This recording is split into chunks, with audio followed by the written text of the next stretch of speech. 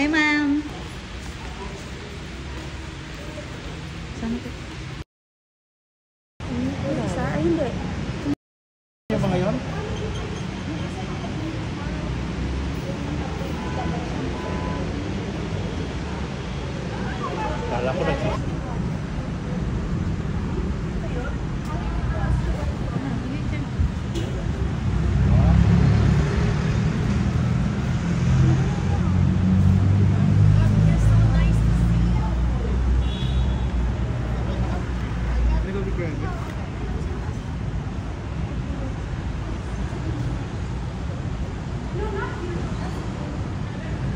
ganda ng damit niya. Parang wet.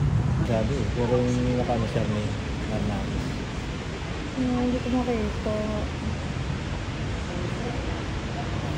Pero yung Charmaine Hernandez, akot pa lang yun. Ako pala. Nakita ko sa tiyata. Si Donita Palis na. Ganda niya kuya. Parang di mo matanda.